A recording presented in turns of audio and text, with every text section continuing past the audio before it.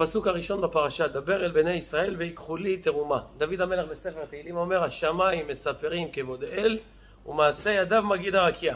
איך השמיים מספרים? מישהו פעם שמע את השמיים מדברים? אנחנו שומעים ברקים, רעמים וכל מיני, אבל מדברים, לא שמענו אותם כל כך. אבל כתוב, אין אומר ואין דברים בלי נשמע קולם. הם לא מדברים.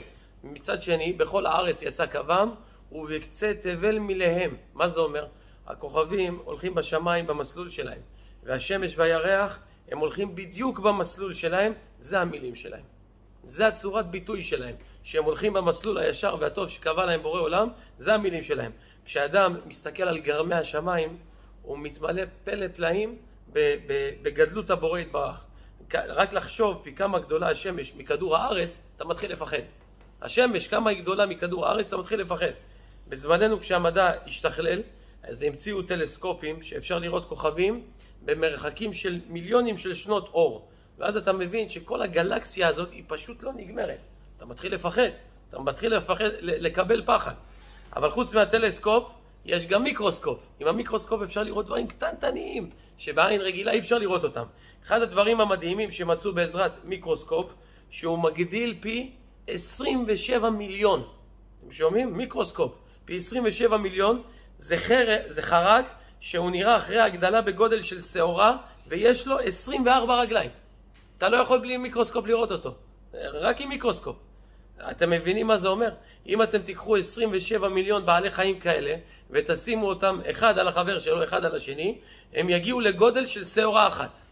ולכל בעל חיים כזה יש גם מוח, ויש לו מערכת עיכול, ויש לו הכל. כשאתה מתבונן בכל אלו אתה מתפעם. אתה מתפעם ממה? מה רבו מעשיך השם, כולם בחוכמה עשית. כל הבריאה, על ידי מה היא נוצרה? על ידי 22 אותיות התורה.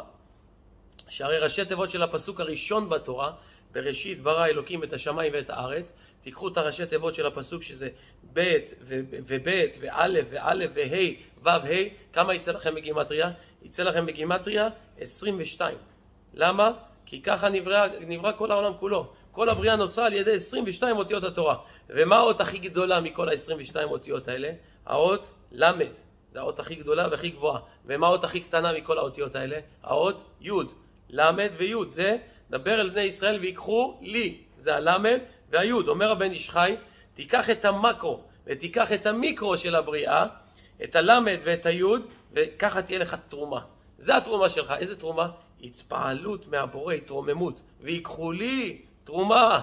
ככה תבינו בגדלות הבורא יתברך. זה אומר הבן איש חי, זה התרומה. תיקח את הלמד, תיקח את היוד, תיקח את המיקרוסקופ, תיקח את הטלסקופ, תבין מי ומה ואיך הקדוש ברוך הוא מנהל את העולם, ועל ידי זה אתה תוכל להתרומם בעבודת השם.